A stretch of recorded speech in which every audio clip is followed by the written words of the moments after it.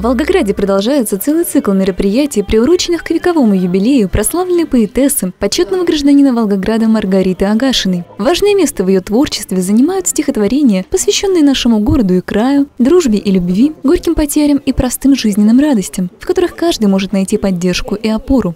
Для э, современных школьников значение ее поэзии очень велико, потому что она э, воспевает нашу родину, потому что э, вся страна поет известные песни на ее стихи. И мы просто обязаны знать творчество наших поэтов, которые столько посвятили нашему Отечеству и времени, и творчество, и так любили его. Поэтому мы перенимаем эстафету у нее, ну и продолжаем читать. Мы очень рады, что сегодня первыми открывают череду поздравлений, а, мероприятий именно библиотека имени Агашиной. В рамках ежегодного фестиваля «Агашинская весна» в библиотеке имени Маргариты Агашиной состоялся масштабный конкурс исполнителей «На бессмертие я не притязаю». География участников обширна, от наших земляков до жителей Приморья и новых территорий. Заявок на конкурс было подано более трех сотен.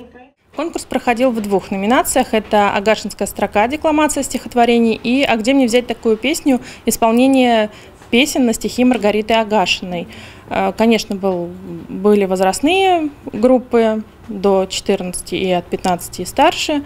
Всего было принято 311 заявок, начиная с Донецкой Народной Республики до Амурской области.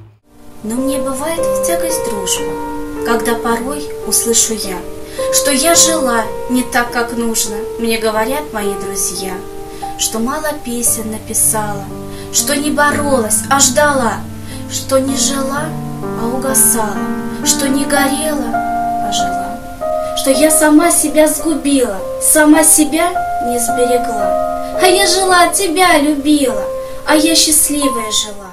Жюри конкурса обращало внимание не только на технику исполнения. Ценился также выбор произведений и творческий подход. Так один из участников, родом из Нижнего Новгорода, самостоятельно написал музыку, под которую исполнял стихотворение. Было интересно отсматривать эти видеоролики. Очень много патриотики на самом деле, поэтому э, библиотека как раз-таки и вот на платформе ВКонтакте завела страницу Маргарита Агашина, где мы публикуем ее произведения, чтобы читатель не ограничивался только гражданской лирикой, потому что направления у Маргариты Агашиной были различные, даже детская лирика есть. Главная цель конкурса не просто выявить победителей, но познакомить широкий круг читателей с творчеством Маргариты Агашиной, напомнить об удивительной, пронзительной тонкости и точности ее поэзии, не утратившей своей значимости и по сей день. Ты же выжил, солдат, хоть сто раз умирал, хоть друзей хоронил, и хоть на смерть стоял.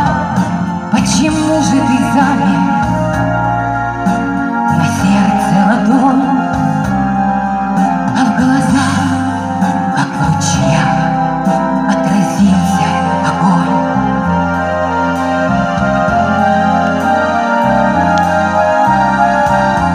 Говорят, что не плачет солдат. Солдат, он солдат. Ксения Колоскова, Илья Китаев, телеканал «Волгоград-1».